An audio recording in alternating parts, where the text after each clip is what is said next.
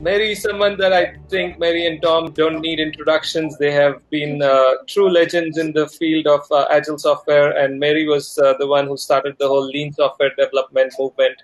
Uh, deeply, deeply influenced uh, at least my thinking and a lot of uh, other folks in the community. So, I want to thank you, Mary, for everything that you've done over the years, and it's so nice to have you part of Agile India back. I think we had you a few years ago, but it's been a while, so it's great to see you and the virtual conference made it uh, much more easy and possible to, to have. All right, so without much delay, I uh, want to uh, let Mary uh, start with her very important topic, which is more relevant now than ever before uh, with the pandemic. So, uh, Mary, if you're going to please go ahead and share your slides. So, good evening or morning or whatever it is where you are, everybody. I want to talk about a week several months ago here in Minnesota, where I am. It was March 17th, 2020. And where you are, I don't know what exact week, but it was around about the same time. And everything changed like very fast. It was a call to action. It was time for us to, well, first of all, everybody needed to go home whether they were in school or working, and we were called upon to figure out how to make that possible. So they needed equipment, tools, licenses. They needed the kids needed internet access and hotspots, and maybe even lunch. And the professors had to figure out how to use new tools. There was training, support. How do we put these meetings together? There was security to worry about. How do teams talk to each other? All kinds of stuff and it was everybody. And it was three days, or maybe it was a week, or maybe it was tomorrow, it depended upon. But, you know, it was very fast, impossibly fast. And it wasn't like you could say, no, that's not possible, because had we known four weeks earlier that we are going to do all of that stuff in the short amount of time, we would have said, nah, it's not possible. But that wasn't the option in this case. So around the globe, the impossible had to happen, and it did. Um, for example, my granddaughter got stuck in uh, uh, Morocco, and we had to figure out with travel suppliers how to get the two of them back home through Canada, where they were living, where their car was parked, and back to Rochester, New York. And we were there were a whole ton of people trying to move people around the world the professors and the kindergarten teachers and all of those folks had to learn how to teach online. Um, the stores that did remain open had to figure out how to get people to buy things. And as far as I was concerned, I was not going into a store. And every store around me took maybe one week or two weeks or sometimes a month to figure out how to make it possible for me to order online, drive to the store, uh, call inside. They came and put my food in or whatever I was buying in the car and off I drove. And I still shop that way. And maybe a few home deliveries, but mostly drive to local stores and pick stuff up that I ordered online. And Zoom became a verb. Um, and ad hoc teams just swarmed one problem after another. I had two stores here. One that that started out with the capability of having all their inventory online for about two percent of their uh, clients, they could do this curbside, what we call curbside pickup. Within a week, they had managed to scale, and within two weeks, you couldn't tell that it was the same service. It was so much improved. A second store around here, two weeks later, nothing had changed because they were waiting for some contract vendor to have some time for them.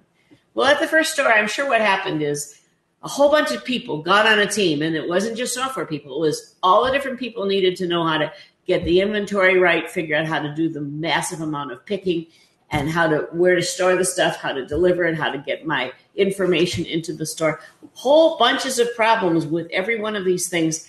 And a team got together, one problem after another, and figured out how to solve it.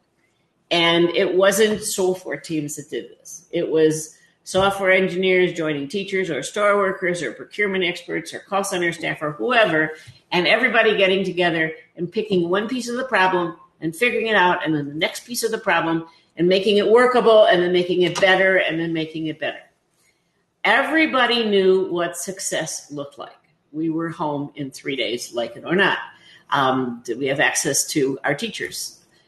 Everybody in that team didn't have to be told when they were successful. They knew when they were making progress. And speed was essential. And you know what? It, it wasn't like you had a choice.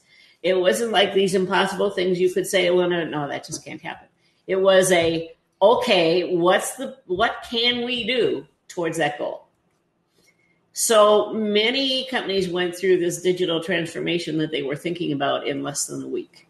For example, Twitter had been working on exploring and doing experiments with working from home. And at that point, they had two or three people, or two or three percent of their workforce working from home, and they've been working for two years. And it took like a week, and everybody was home. Uh, they hadn't thought it was possible. So this massive experiment, which turned out actually quite well for them, I'll tell you more about that in a minute.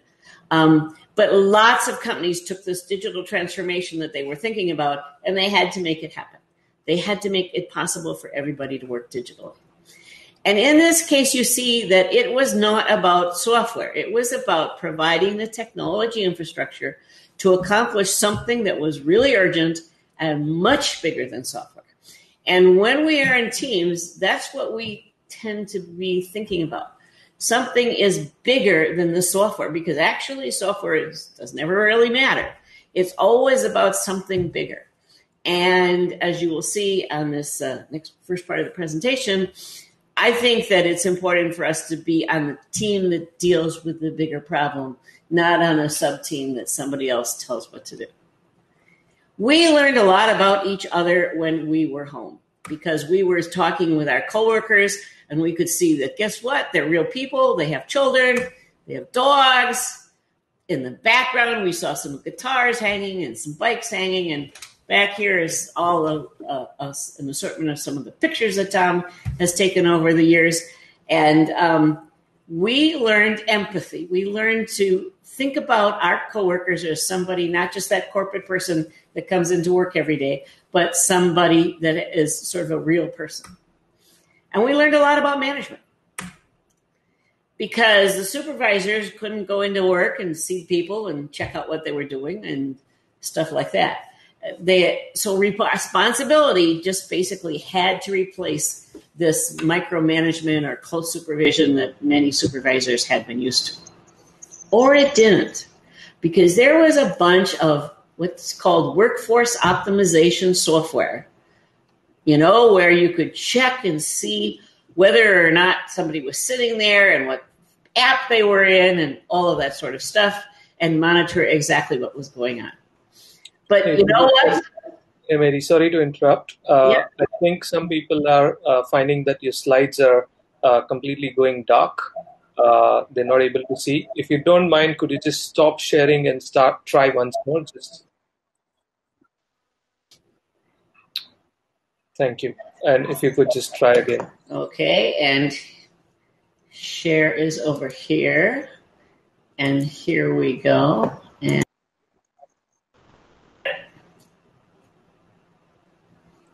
Okay, and just turn your camera back on. Oh, yeah. Okay, we can do that. Camera. Ta-da. Okay. All right, let's try that. Thanks. Sorry for the. I always turn the camera off if that helps too.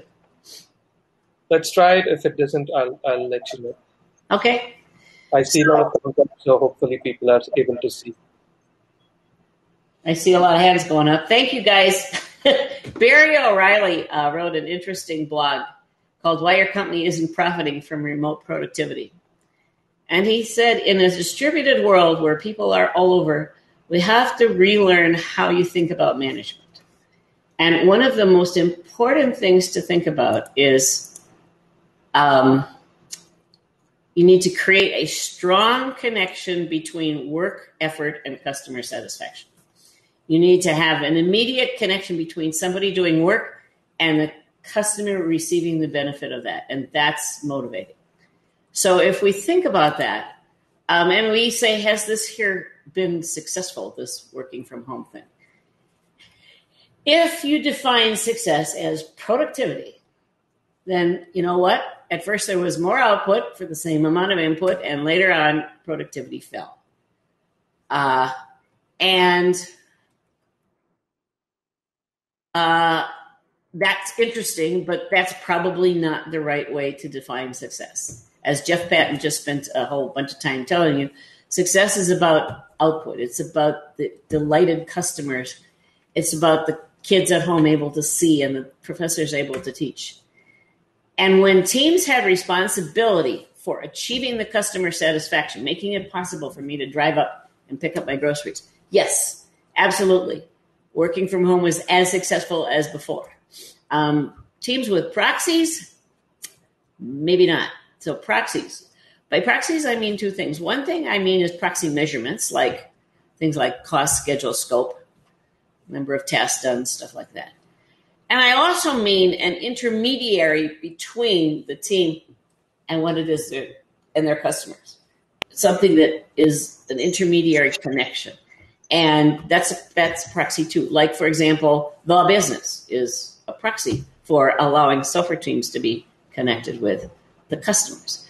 So if you think about teams with proxies, maybe it's been not so successful.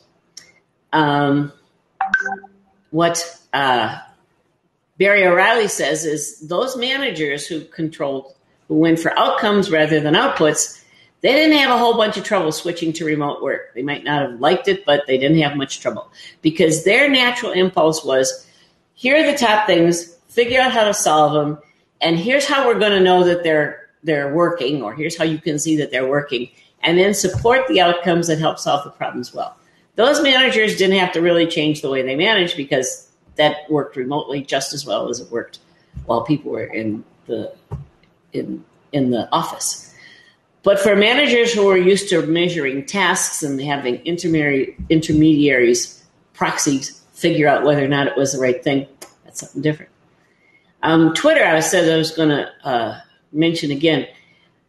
They um, switched very fast to working from home and discovered, you know, because they had to do it, that it was actually really successful and a whole lot of people loved it. Now, that doesn't mean everybody likes it. It doesn't mean everybody wanted to work from home.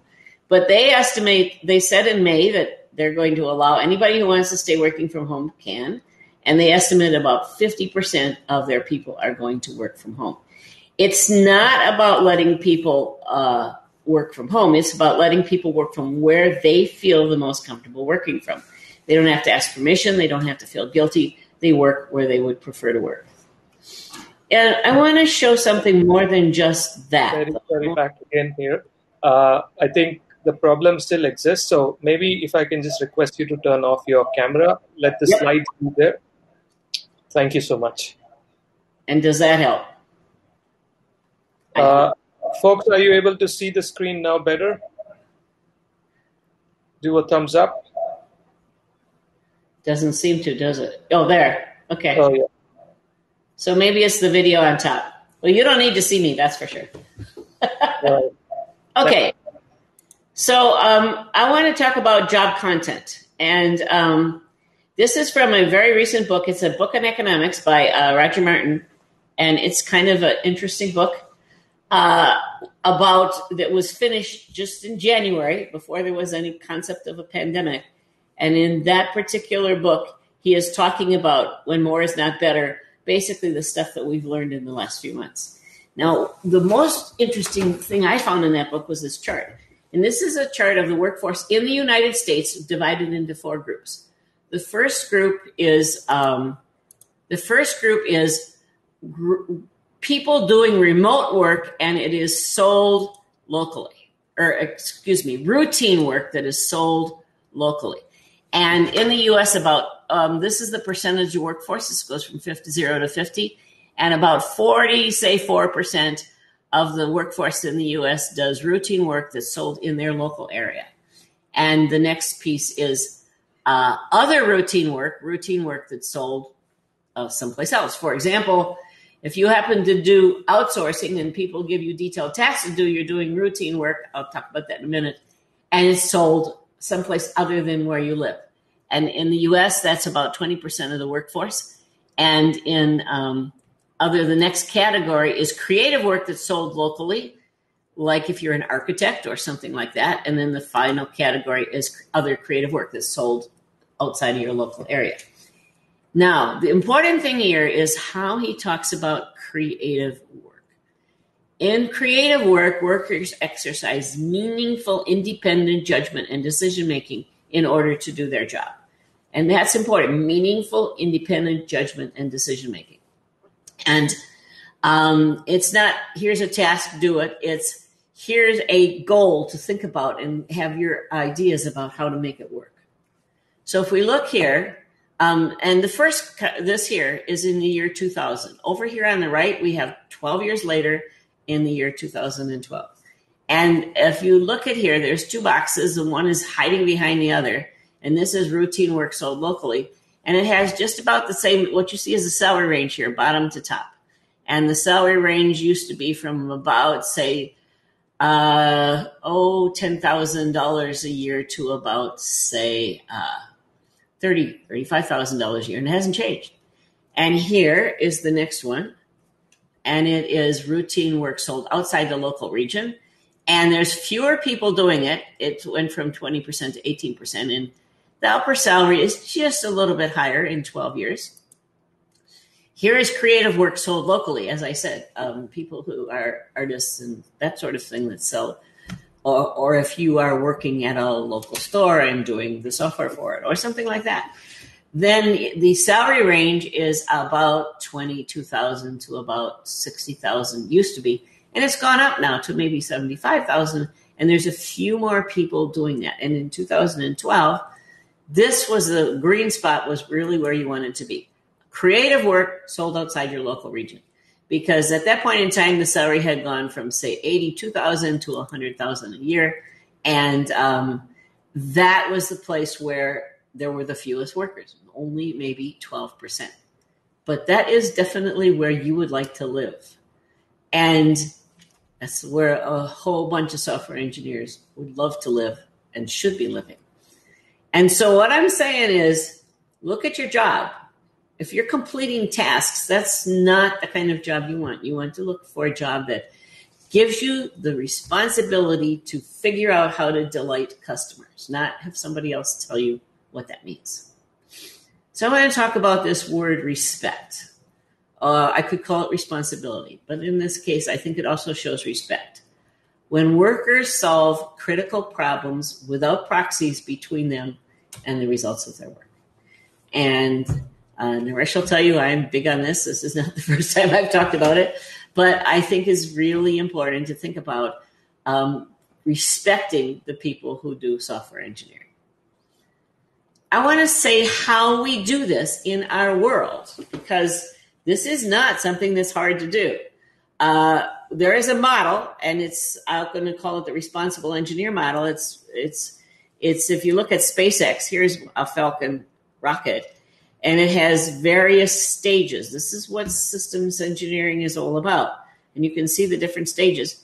And there will be a chief engineer or a responsible engineer for every single one of those components, landing legs, grid fins, you name it and that there will be a team and within that team the responsible engineer will have some people responsible for subsets of that components and there will be a responsible engineer for the entire uh, rocket.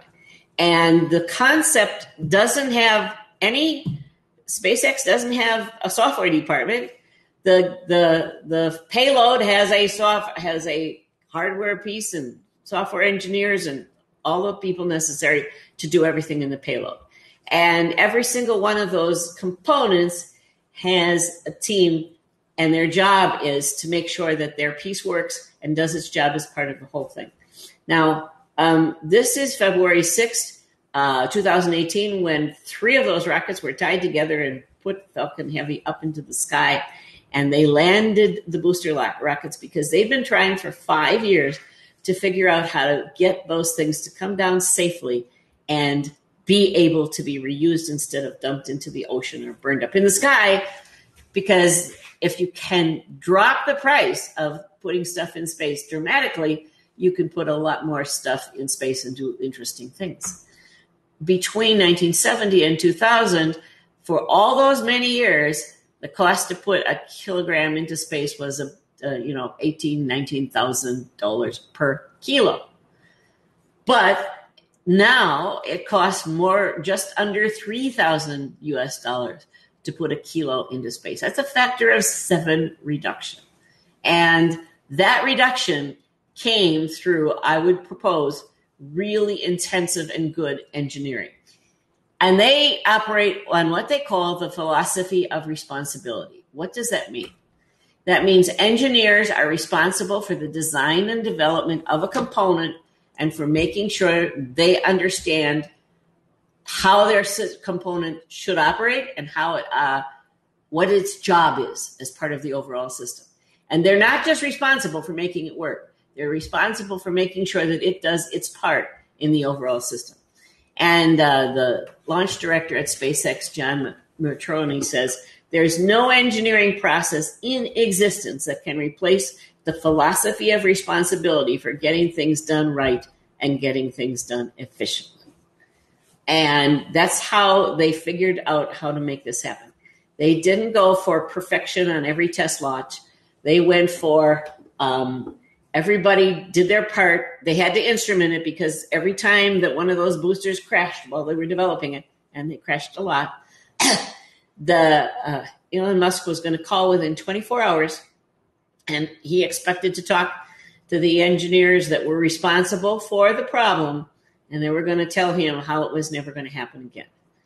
So this concept of the responsible engineer can put space rocks into science or into the into space. If it can do that, it can probably do the stuff that you guys have to accomplish. Um, efficient supply chains. This is sort of part two of my talk, and I know I've got to get going here because I have like only maybe 20, 25 minutes left. But uh, what happened is that efficient supply chains just plain collapsed um, as soon as the everybody got locked down because there were dramatic demand shifts that couldn't be accommodated. For example, personal protective equipment. There just wasn't enough where it needed to be, and there needed to be more made. There were cleaning supplies like hand sanitizer and soap that we couldn't get for the longest time. Um, food, food shortages mostly in, um, well, what we saw, interestingly enough, was a persistent shortage of flour. And the reason was because um, the flour was uh, packaged in commercial packages and sent to bakeries. And when the bakeries closed, they had all the flour, they had plenty of mills, but they didn't have the packaging supplies to put it into. We put it in five or 10 pound bags and sell it in grocery stores. They didn't have either the equipment or the packaging to do that. And there was a two, three month strong shortage of flour in the US. Other countries had different shortages, but it was a supply chain problem usually. Now, infrastructure actually uh, didn't tend to, if you had water and electricity, you tended to still have water and electricity. If you had internet, it uh, didn't tend to go away. In fact, our internet, almost every vendor started supplying higher speeds and more of it fast. So the question is, why do supply chains break and why doesn't infrastructure break? And there are really only two reasons why a supply chain will break. First of all, the demand changes faster than the time in the supply chain. So if you have personal protective equipment and it's made in China and then it has to go on a container into a container and it makes its way to a port and then it's on a ship and then another port and then it has to make its way to a distribution center and eventually get to a hospital. That's a long time. If demand changes faster, and demand change like within a week, um, then the long supply chain, that supply chain breaks. And secondly, if demand exceeds capacity at a link in the supply chain, like for example, we had plenty of flour, but we couldn't package it. At that link, the demand exceeded the capacity. So those are the two reasons why a supply chain will break. Um, if we go back to the first one and look at it closely, durable goods supply chains anything like refrigerators and appliances and even bicycles, they're, they're very slow and very unresponsive because um, make it the most efficient, cheapest place in the world and gradually sort of move it over to where it's needed. And when you have to rapidly change that supply chain, it's too slow. Perishable goods supply chains actually are much faster and much more responsive, and I'll talk about that in a minute. And infrastructure, infrastructure does not tend to be designed for a single thing. It tends to be designed for the long term, not current demand. So if you're going to plant a tree in a park, that tree is going to be small for 10, 15, 20 years before it even starts to be big. But that's okay, it's infrastructure. And so you do it because you're thinking long ways out in the future when you plant the tree. Um, when you look at the second one, okay, demanding exceeding uh, capacity at a link in the supply chain, resilient supply chains have some sort of slack at every single step. And if you don't, you are not going to be able to respond to rapid change in um, demand.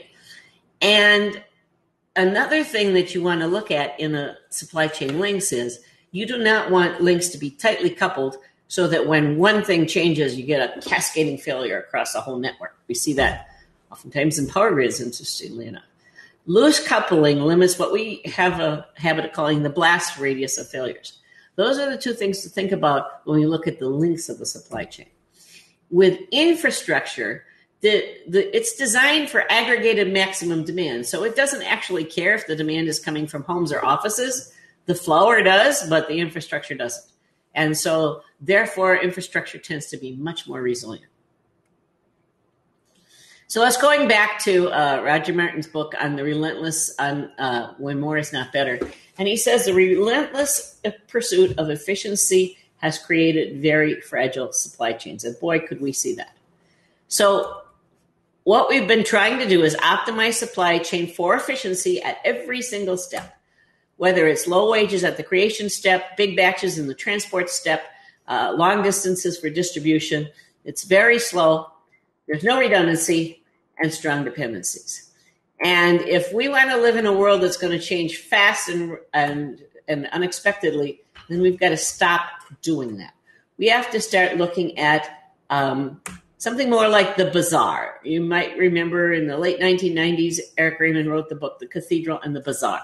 And the bazaar or the marketplace was, um, in, in his metaphor, cathedral was a strongly architected development processes, and the bazaar was the way open source was developed. Everybody had their own little shop and did their own little thing. And he said he couldn't figure out how the bazaar could possibly work, but it turns out it works a lot better for software. And in fact, it works a lot better for a lot of supply chains.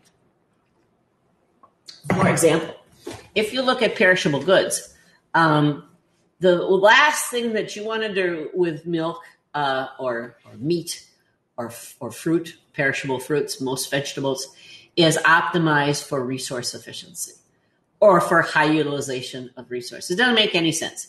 So if this woman with her bike and all her bundles of vegetables and fruits um, were going to be really efficient, she would take the stuff to a truck that was at a distribution center, and then that truck would get driven to the market. But that doesn't make any sense. Those things need to go in small batches straight to the market, and she can get it there fastest. You never accumulate large batches when you're talking about perishable goods because small batches move faster um, and they don't sit in great big piles of inventory. You also have to, with perishable goods, aggressively discover and eliminate any kind of bottleneck. So we get a lot of our fresh fruit from South America. And uh, if the airplanes don't fly, we don't get it. And so you have to look is this a bottleneck? Is it redundant? Um, and then if it has to wait at the airport because there aren't enough trucks to distribute it, then you got to ha- handle that bottleneck. And with a perishable goods supply chain, you replenish what people buy. And you use that to pull your replenishment. And lastly, you leverage customer feedback to make product supply decisions. What is she going to plant? She's going to plant what people buy. And uh, maybe that's going to have a little bit of a lag time, but not that much. So, the thing that we always talk about for any kind of thing that's optimized for speed rather than for resource efficiency is don't batch and queue. Okay, well, so what is a batch and what is a queue? Well, projects are batches Not a good idea. Backlogs are queues. Not a good idea either. Prioritization is just ways to reshuffle the queue. That's kind of a waste of time. You don't need the queue in the first place. Estimates, they're another way of figuring out which piece of the queue am I going to work on next. Every one of these things belongs to a push system. They are about forecasting demand. But in times of uncertainty, push systems are going to be wrong because things change so fast. So, all of the forecasting in the world that people did in January certainly didn't help in March. The thing you want to do in an uncertain environment, even in ours, is to pull from demand. So, what does this mean for you? Well, what it tends to, the way to think about it is to establish a regular cadence of getting stuff done. So, you should know the rate at which you get stuff done let me give you an example.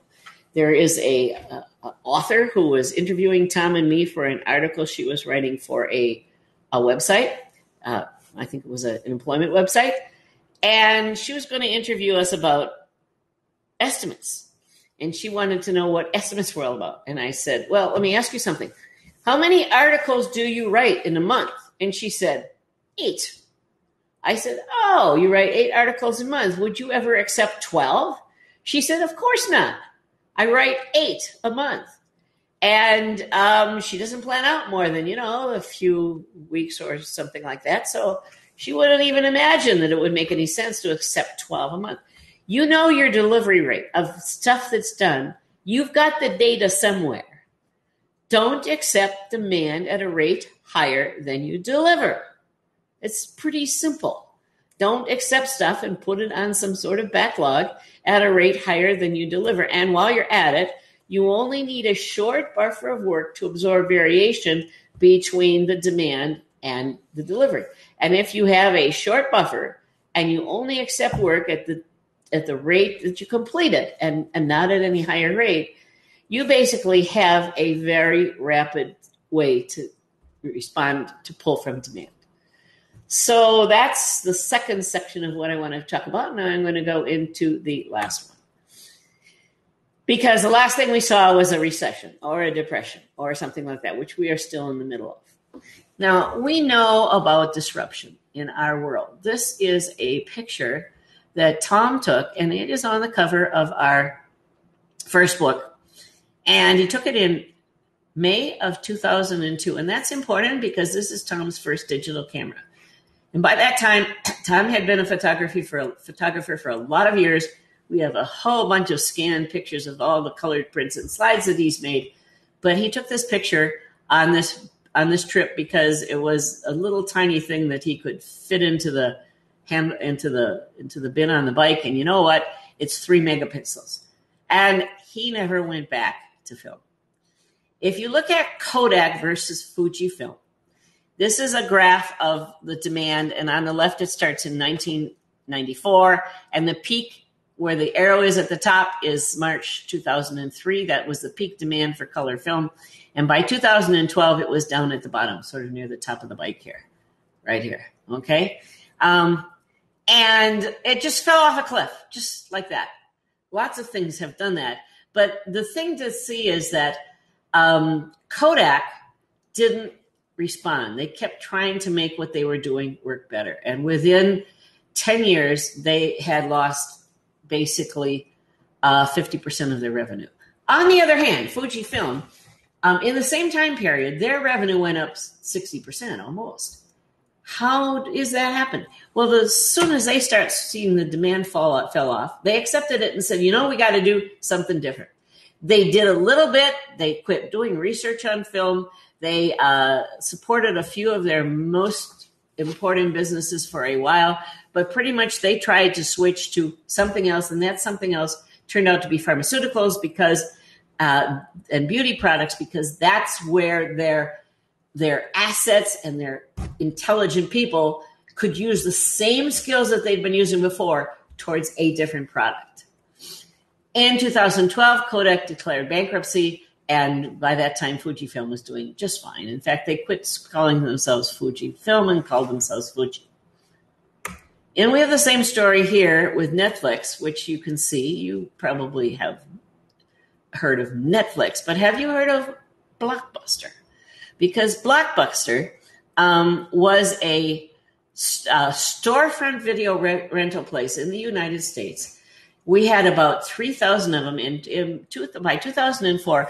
They had $6 billion of revenue coming in. They were very successful. You go in and you rented videos um, and they had late fees, which really annoyed people because those late fees were kind of a pain. Um, and so then uh, Netflix started up, and they had a different scheme: DVD by mail, and it was flat fee, three a month. You return one, you got a new one. You would never have late fees. Whoa! So people loved it. They switched. And then Netflix said, okay, no late fees. We're going to do DVD by mail too. Return it to Star and you can get your new video faster and everybody thought that would be great. But then Blockbuster said, "Oh, how about streaming? You can have a you can add two or three hours of streaming a month to your DVD subscription. How about that?" That became popular, and at the same part point, uh, Net Blockbuster was not able to get enough revenue, so they returned the late fees, and um, they then decided with down with streaming, what they were going to do is put a kiosk in each store where people could download movies, bring it to home, on, bring it home on a chip, put the chip in some sort of a player that they sold, and uh, as you can imagine, it didn't go over as well as streaming. And so they kept falling in revenue. They kept adding additional late fees and, and annoying customers even more. At the same time, Netflix switched to a streaming only subscription. And let's just say the rest is history. So we know how to survive disruption. And the first thing we have to do is stop doing what doesn't work. We know we have to stop doing what doesn't work. We have to stop annoying our customers. And you'd be surprised at the kinds of things we do. Uh, the airlines in the US charged all kinds of fees for luggage and for changing flights and stuff. They had to drop all those fees just to get customers to come back. Well, we have one airline that never had any of those fees, and it's doing quite well, thank you. You need to preserve cash in any kind of a downturn, and you need to stop spending it on the old stuff that you used to be doing and figure out how you're going to spend it next. You need to find some sort of unmet need and leverage your existing expertise and assets towards that need with a lot of short customer focused feedback loops. This is our motto at 3M that we always had. Try a lot of stuff and keep what's work. Keep what works. So there's a story, and there's these stories all over the world, but I like this one of the pizza factory in Chicago that started making face masks instead. They make about 5,000 a day. Can you imagine that? Of these face masks for medical workers because they found that the pieces of plexiglass could be treated just as if it would, they were pizzas, heated in the oven, bent to shape, uh, and then they added a few accessories and they were able to package them up and sell. And the world is full of people who figured out how to repurpose assets and people towards a different concept. What I'm talking about is something that I'm going to call maneuverability. Maneuverability. These are impala. They are the fastest animals I've ever seen. You know, they will hold this pose. I'm amazed that Tom got the picture because that didn't last for more than a second. And then their heads were up and they were looking for the lions and the leopards that wanted them for lunch. So in their case, maneuverability is survival. And maneuverability, I think, in a, a times of great uncertainty, is survival. This is um, uh, an F 86 plane in the early 50s. In 52, John Boyd was a Sabre pilot, and he was supposed to get into fights with Soviet MiG 15s, which were faster. They had heavier firepower, they had a narrower turning radius. But you know what? they did not actually uh, have the advantage you would think. Because by the end of the air to air combat, the Sabres, these little slow planes, had a 10 to 1 ratio of success. So Boyd thought this was really weird and he wanted to know what was it about that plane that made it so successful. And he did a lot of studies and a lot of simulations and he decided that he discovered that the success is a byproduct of its ability to transition from one maneuver to the next maneuver faster than the opponent. And I would propose that that's what we need to be able to figure out how to do. So here is his OODA loop observe, orient, decide, act. I'm going to call it a maneuverability loop. And you have to observe what's going on. Orientation, I'm going to talk about in a minute. Then you have to decide based on the orientation what are you going to do next. You call it a hypothesis. And then you act. And your action is a test. Did it work or not? And then you go through the loop again. So if we take a look at this central thing right here, what we're doing in orientation is we have a mental model of how the world works. And what you're doing with maneuverability is you're saying, what's wrong with my mental model because it isn't working? How am I going to change my mental model of how the world works to match the way it works today? And you have to make, you have to update your mental models and you have to do it fast. So you have like genetic heritage, like so those impalas are really fast. You have cultural traditions. If you look at air uh, pilots, they have different kinds of traditions than I don't know army or something like that. Uh, there's previous experiences. If you've been through this before, it helps a lot. There's new information because this is different than before. You put that all together in synthesis. Now, if you want to think about this, we're looking for a broad view of what the mental model could be changed to to try something new. And I would propose that if you have a team, a small team has to be small because otherwise it can't act fast. And uh, it'll have a broad view of the environment. It can form some mental models and it has some diversity of opinions so that you don't keep doing what you used to do. Lots of different minds, not one expert. And so when you have that in the orientation box, you are much less like more likely to come up with a mental model that's going to work for the next thing for what's going on now if you have a small, diverse, responsible team.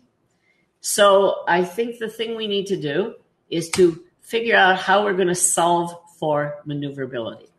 And in our world, this is how you do that.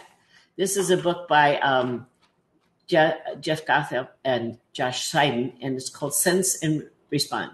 And the thing to the important thing to know about those two guys is they are designers. They design things. And this is the way designers think about the world.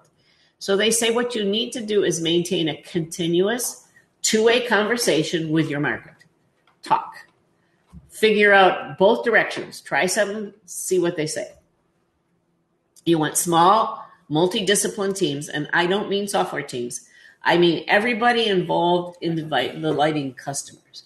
You want a very clear goal. You want to know the outcomes and you want to know what are the constraints. If your constraint is the a deadline that can't move like three days, that's a constraint. If your constraint is there's only so much money, that's a constraint. A constraint isn't a list of tasks. It's the real thing that that without hitting that, that you can't violate. The team needs freedom to act asynchronously, separately, without permission from colleagues, without permission from management, by themselves. Um, and that is usually an architectural problem as much as anything in our world. The team has to be responsible for building the right thing. Um, I'll just re- remind you of my re- philosophy of responsibility. That's what their responsibility is figuring out what's right and making it work.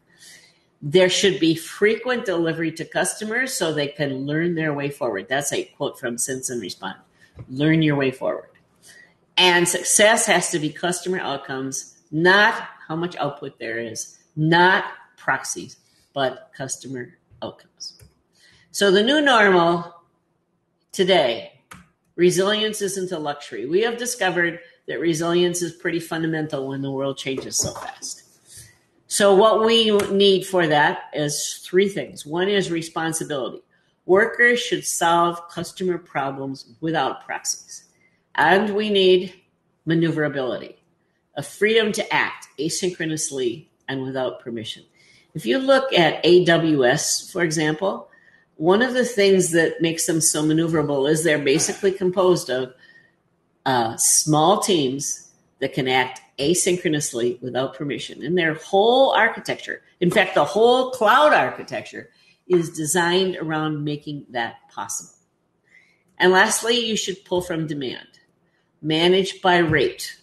know your rate. That's the rate at which you can accept, not just deliver. Maintain a very short first in, first out queue, and that's all you need. So if you have those three things in place, then you're going to have a lot more resilience in your organization than um, if you don't. And so, with that, I would like to say thank you. And I think it's time for questions. So, what should I do, Naresh? Stop sharing? Great. Uh, thanks, Mary. If you could uh, just uh, turn on your camera, stop sharing. We, I'll go through a few questions here. Okay. Is my camera on now? Camera on. Oops, whoops. There we go. Yeah, I can see you fine. Okay. And Tom is going to join too. Awesome. Welcome, Tom. And I'm going to make this a little bit bigger. Okay. Uh, right. There we go. all right. Perfect. You can see all the wonderful pictures Tom has taken in the back. Right. Having traveled with both of you a little bit, uh, I saw Tom's fascination for taking pictures. It was amazing. yes.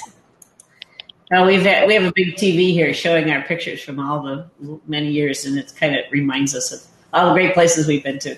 I've got some really nice pictures from from India too. Yeah, awesome. Um, very very informative, very engaging uh, talk. I think also very relevant uh, to what people are going. So thank you very much, Mary, for that. There is a whole bunch of questions that people are asking. So without much delay, I'll quickly jump in and start okay. taking questions. Uh, so the first question I see here is from Rajiv. Uh, so Rajiv is asking, in your opinion, what could be one good software-related trend uh, that has its birth in 2020 during this COVID time that you think will continue beyond 2020? Got one time? I think it was one of the points Mary made here, which is that um, software is a contributor to a team that solves problems. It's not the solution all by itself. It's not that somebody tells uh, people with software skills what to do. It's that they collaborate with other folks with other um, capacities to solve emerging and rapidly evolving problems. I will say one thing I don't think it's going to be. So we heard a lot about artificial intelligence was going to become really big in 2020, but what has happened is that the databases used to train artificial intelligence have suddenly not become relevant anymore because everything's changed. So a huge amount of the AI training that's that had gone on has become suspect, if not irrelevant. So um, so I don't think that's it. But I do think that we need to figure out how to respect the people that are solving these problems, the ones that are on, on the front lines making stuff happen, and give them uh, give them the the respect of telling them here's what a solution looks like and let's make it happen. I think that we've seen a trend this way, and I think it's a revert a reversion to where software used to be back when I first started coding. um, and I'd, I'd like to see more of it. I think instead of let's do the tasks some other people line up, we have to start expecting software engineers to be part of a problem solving team. And, and when things have to be really fast, there just is no time for any of the other processes and any of the other gatherings or anything else. You just have to get everybody together and get them in the room and say, you've got three days, make this happen. And I think that that'll continue. More, more of that'll continue. Awesome. All right. So moving on. Uh, thank you very much for that. Uh, we uh, there's a question from Vinaya uh, where she's asking about what are your thoughts on Kanban. Uh, seems to check many of the boxes you mentioned. Could you read the first? Kanban. Oh, on Kanban. So um, Kanban is a term that came from uh, Japan and was used in lean manufacturing back when I did lean manufacturing.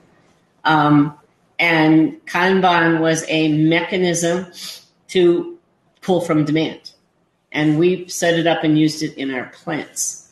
And if you think about the, the software version of Kanban, it is a mechanism to track pulling from demand and making sure that um, you use some sort of a pull mechanism. Kanban actually means card, and in our manufacturing plant, we actually use those cards to pull.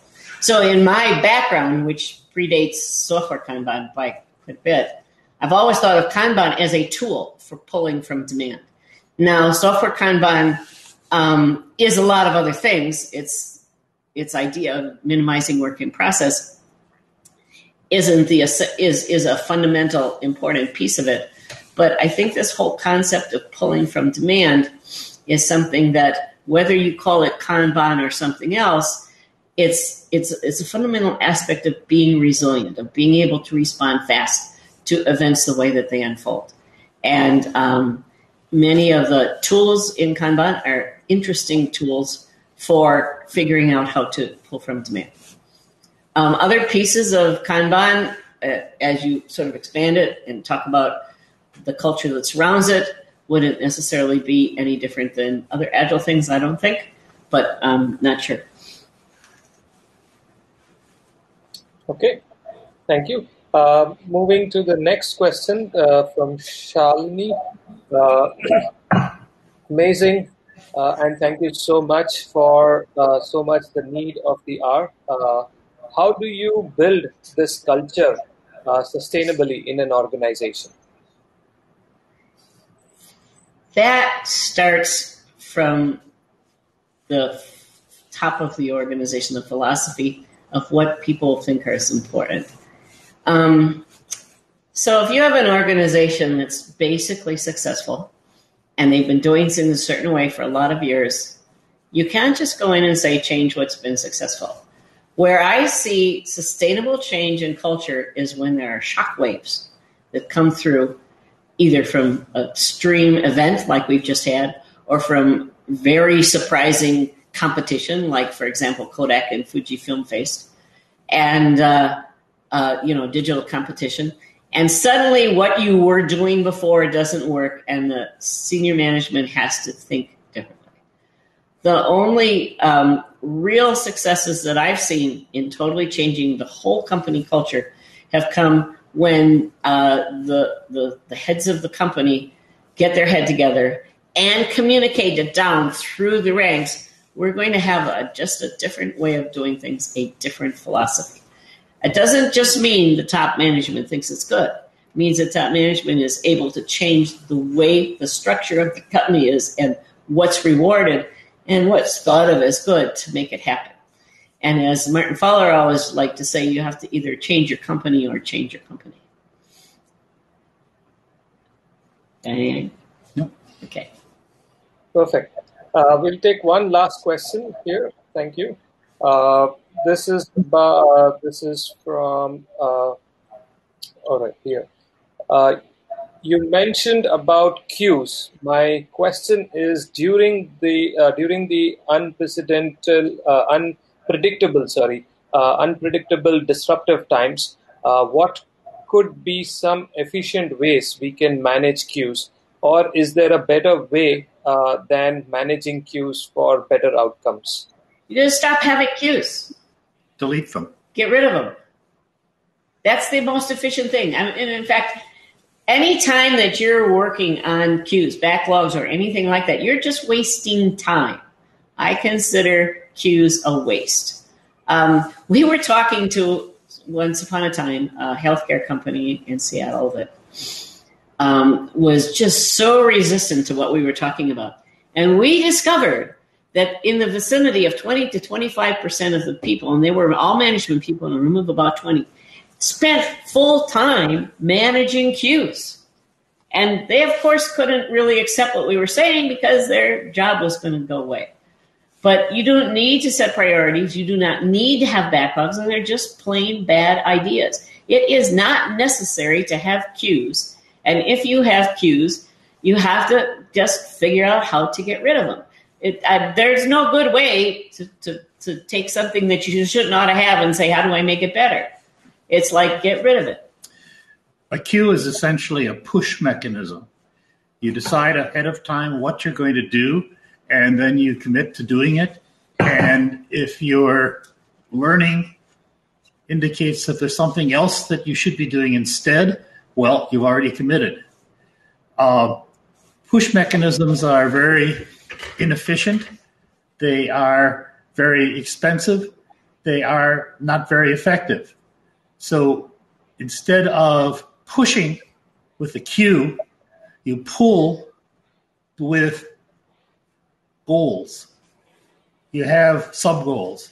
You do whatever it takes in order to achieve the next most important thing. Um,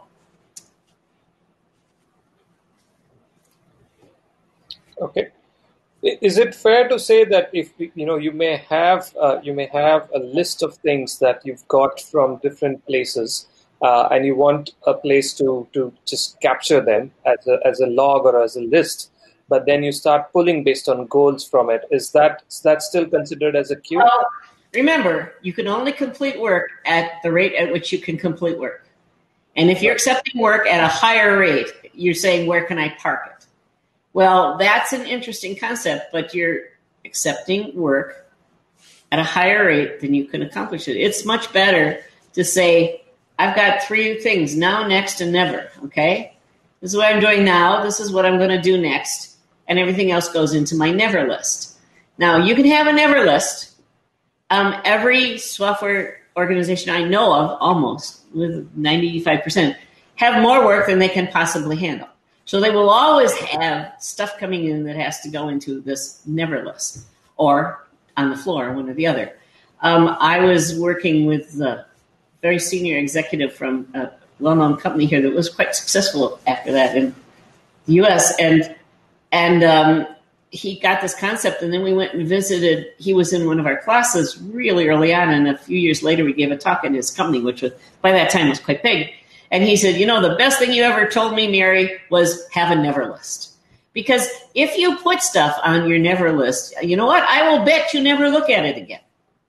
Because what's urgent now is what you're going to be paying attention to. And if you're refreshing what you think about doing from the most current problems instead of stuff that's five and ten and you know seven months or weeks old you are actually doing a better job of choosing than stacking this stuff up. It is better to say to the people who are sending demand at you look here's my capacity. I'm going to tell you when you ask me something if i have capacity to put it on my list. And if i don't have capacity i'm going to tell you right away.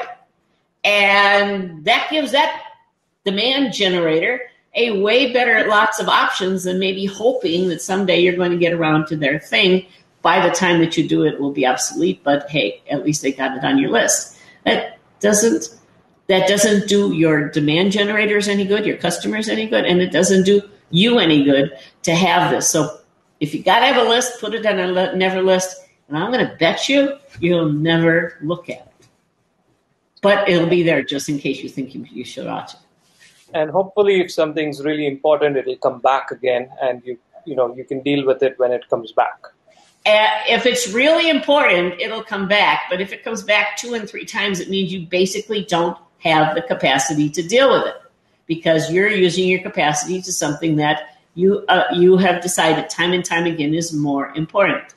So um, that means you either have to increase your capacity or it has to go somewhere else if it's really important. But it is so much better to be honest about that than to pretend that maybe someday you are going to be able to do it. And it could be reframed in a way that makes it easier to deal with or faster to deal with or something that really is more important than um, the, the, competing idea from some other source of demand.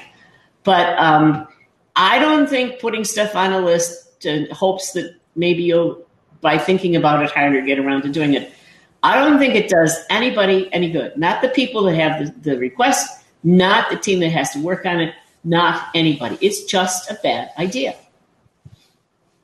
Perfect. All right. Thank you so much. Uh, one last question. I know we're running a little late, but I think I love this question. This is from Sakshi.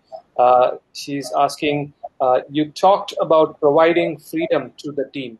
Sometimes freedom turns to chaos, uh, especially in, in meetings. Uh, any suggestion how to limit these situations? Okay, so remember I talked also about the philosophy of responsibility. All right? So um, the team knows what it needs to achieve, and it needs to know when it needs to achieve that. It needs to know the constraints around the uh, achievement, and it needs to know its piece in the bigger system. All right? Um, and in my experience, if I look at the companies that are really successful, most of these small teams have responsible leaders. Um, in the chief engineer model, there's a, a chief engineer that is the responsible leader that owns responsibility for delivering on that thing that the team is responsible for. And at some point in time, that leader has to say, okay, we've had enough discussion. We're heading this direction. And um, we, we have to do this. Here's our goal. So let's say you are trying to do a um, curbside pickup software and you had to have it done in a week. There's one person who's leading a team of seven, and that person is responsible for having it. And there's some arguments about which way is best. Those are good because it gives a lot of ideas. And at some point in time, the leader says, okay, we've spent three hours on this. That's all the time we have. We're going to make a choice and move on. And we're going to go with that choice and try it out because that's all the time we have. So there has to be a way to move forward and not argue. If you take a look at um, open source, there is always the the, the what benevolent dictator that does that occasionally, not very often, but occasionally to keep things moving on. And um, in a chief engineer model, there is a responsible engineer who owns responsibility and passes it to the team.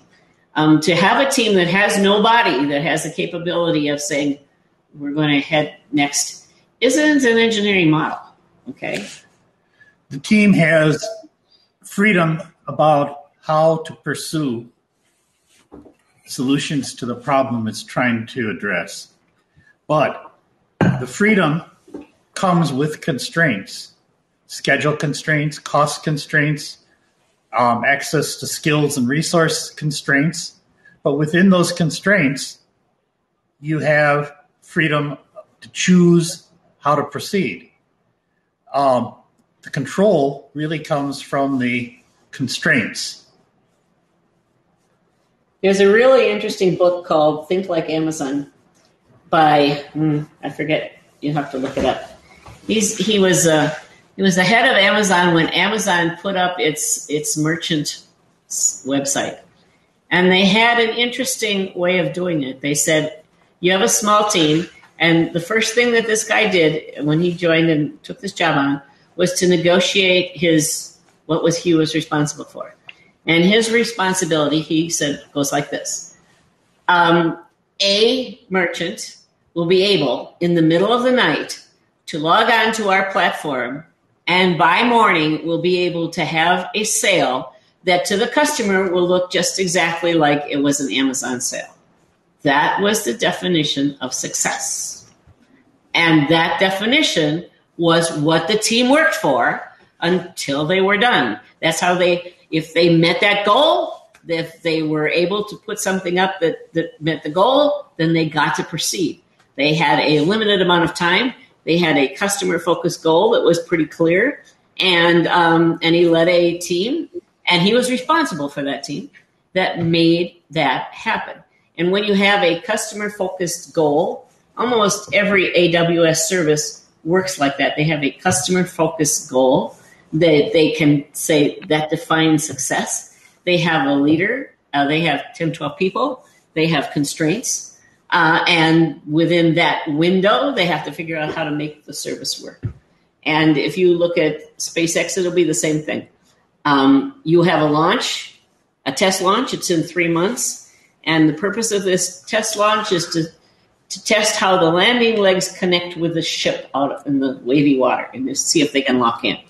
Okay, and you got three months, and on you know uh, May 31st, the launch will happen. And you know what? That's not going to change. It's going to be May 31st. It's going to go up and it's going to try to land in the ocean. And if your legs aren't ready to lock in, well, too bad. Um, because it's going to be tested and you, you have to be ready. And so you have a team that has that goal. They know what they have to do. They know where the legs fit in. They have to work with the crew on the ship to make sure they know how the locking mechanism works. And you can have arguments about the best way to do it. But May 30th isn't going to move. And you can only have arguments up to a certain amount of time before you have to start trying stuff. And you have to have two or three different different uh, strategies because when May 30th comes, one of them has to be in place and working.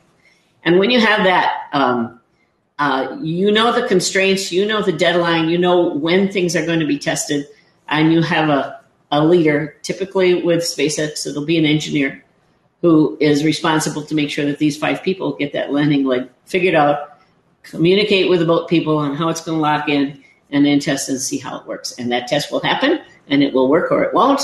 And um, the engineering team and the chief engineer are responsible for whatever happens.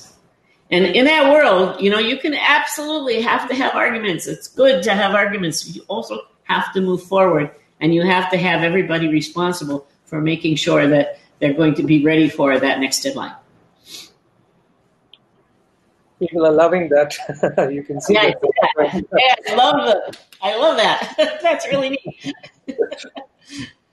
All right, I think uh, we've uh, taken a lot of your time. Uh, uh, thanks a lot, uh, Mary and Tom. Uh, it was such an honor to have you back, and such an amazing topic. So, thank you very much for that. Thank you.